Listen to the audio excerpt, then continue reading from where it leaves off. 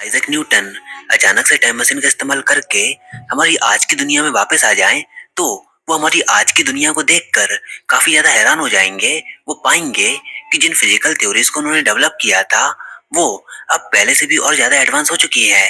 जो चीज़ें उनके जमाने में काफ़ी ज़्यादा मिस्टीरियस मानी जाती थी, उन चीज़ों को आज हर एक फिजिक्स स्टूडेंट्स को पढ़ाया जाता है। जैसे कि कैलकुलस न्यूटन ये देखकर काफ़ी हैरान हो जाएँगे कि कैसे स्विट्जरलैंड में मौजूद एक काफ़ी बड़ा पार्टिकल एक्सेलरेटर हमारे ब्रह्मांड के नियमों से पर्दा उठा रहा है। वो इस बात को रियलाइज़ करेंगे कि कैसे उनके द्वारा दिया गया ग्रेविटेशन का कंसेप्ट अधूरा था। आइंस्टीन की relativity quantum mechanics string theory gravitational waves black holes wormholes इन सबको जानकर वो काफ़ी ज़्यादा फैसिनेट हो जाएँगे। इन सारी डेवलपमेंट को देखने के साथ उनको इस बात का ये रियलाइजेशन भी होगा कि अभी भी जिन फिजिक्स को डेवलप करने में उन्होंने अपना पूरा लाइफ स्पेन स्पेंड किया, वो फिजिक्स अभी भी अधूरी है। फिजिक्स में ऐसे कई सारे अनसुलझे सवाल हैं, जिनके बारे में अभी तक कोई भी नहीं जान पाया। उदाहरण के लिए डार्क मैटर और डार्क एनर्जी की मिस्ट्री के बारे में अभी तक हम पूरी तरह से क्लियर नहीं है। इसी के साथ ही साथ फिजिक्स में ऐसे ही कई सारे सवाल हैं, जिनके जवाब हमारे पास नहीं है। तो चलिए, आज हम फिजिक्स के कुछ अनसुलझे सवालों को जानने की कोशिश करेंगे कि आखिर कौन सी बिगेस्ट अनसॉल्व प्रॉब्लम है जिनके आंसर अभी तक हमारे पास नहीं है? तो यहाँ पर हम टोटल सेवन क्वेश्चंस को कंसीडर करेंगे और उनके बारे में थोड़ा सा डिस्कशन भी करेंगे कि आखिर क्यों वो क्वेश्चन हमारे लिए अभी तक अनसॉल्व रहे हैं। तो बिना टाइम वेस्ट करते हुए वीडियो को स्टार्ट करते हैं। तो हमारा सबसे पहला अनआंसर्ड क्वेश्चन है कि what is matter made of आखिर मैटर किससे बना हुआ है? तो अगर आप एक फिजिक्स का स्टूडेंट हो तो आपको ये लगता होगा कि आप इसका आंसर जानते हो। एंड हाँ हम ये बात जानते हैं कि मैटर एटम से मिलकर बना हुआ होता है and atom proton electrons and neutron से मिलकर बने होते हैं, और इन सब एटमिक पार्टिकल से भी छोटे पार्टिकल्स उनके अंदर एग्जिस्ट करते हैं। जैसे कि क्वार्क्स अब क्या क्वार्क से भी छोटे पार्टिकल्स एग्जिस्ट करते हैं या फिर यही सबसे फंडामेंटल पार्टिकल्स हैं?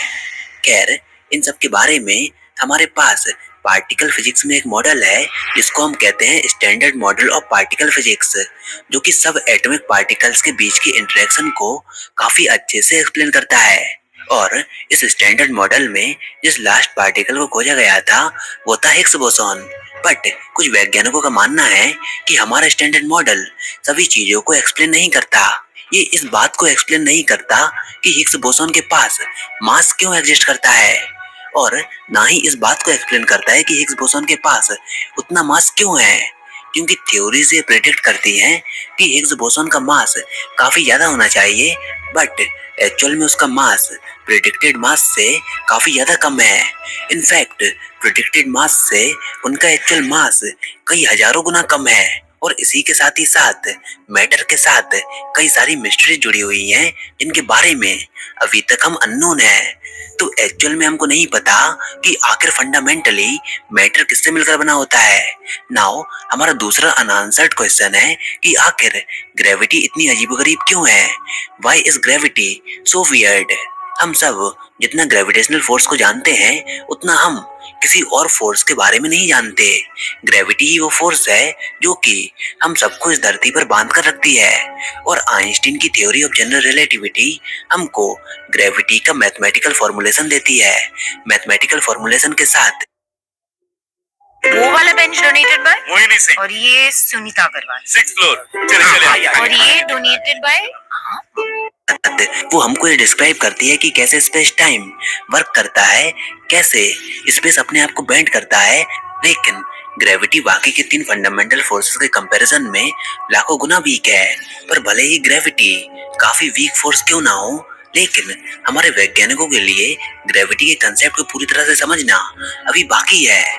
हम सब ग्रेविटी के क्वांटम वर्जन को ढूंढना चाहते हैं। और यही वो रीजन है जो कि ग्रेविटी को काफ़ी वियर्ड बनाता है। साथ ही साथ ग्रेविटी बाकी की फोर्सेस के कंपैरिजन में वीक क्यों है?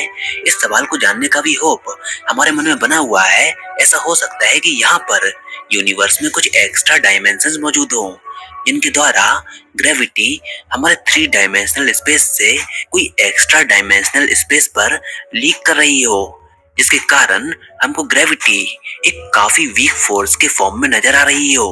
पर क्या सच में ग्रेविटी थ्री डायमेंशन से इनविजिबल एक्स्ट्रा डायमेंशन में जा रही है। इसका जवाब हमारे पास नहीं है। इसी के साथ ही साथ एल्बर्ट आइंस्टीन ने भी ग्रेविटी के कंसेप्ट को काफ़ी अच्छे से डिफाइन किया।